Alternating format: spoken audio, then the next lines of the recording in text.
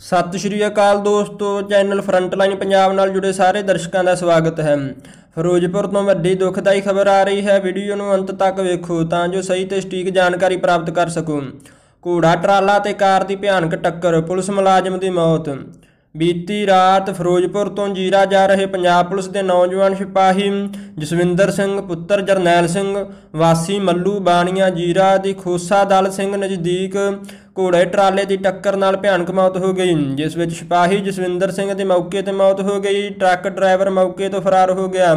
ਵੱਡੀ ਦੁਖਦਾਈ ਖਬਰ ਫਿਰੋਜ਼ਪੁਰ ਤੋਂ ਆ ਰਹੀ ਹੈ, ਜਿੱਥੇ ਘੋੜਾ ਟਰਾਲਾ ਤੇ ਕਾਰ ਦੀ ਭਿਆਨਕ ਟੱਕਰ ਕਾਰਨ ਇੱਕ ਪੁਲਿਸ ਮੁਲਾਜ਼ਮ ਦੀ ਮੌਤ ਹੋ ਗਈ। ਹੋਰ ਵੱਡੀਆਂ ਅਪਡੇਟਸ ਲਈ ਚੈਨਲ ਨੂੰ ਸਬਸਕ੍ਰਾਈਬ ਕਰੋ, ਵੀਡੀਓ ਨੂੰ ਲਾਈਕ ਅਤੇ ਸ਼ੇਅਰ ਕਰੋ। ਮਿਲਦੇ ਹਾਂ ਇੱਕ ਵੱਡੀ ਖਬਰ ਦੇ ਨਾਲ, ਤਦ ਤੱਕ ਲਈ ਸਤਿ ਸ਼੍ਰੀ ਅਕਾਲ।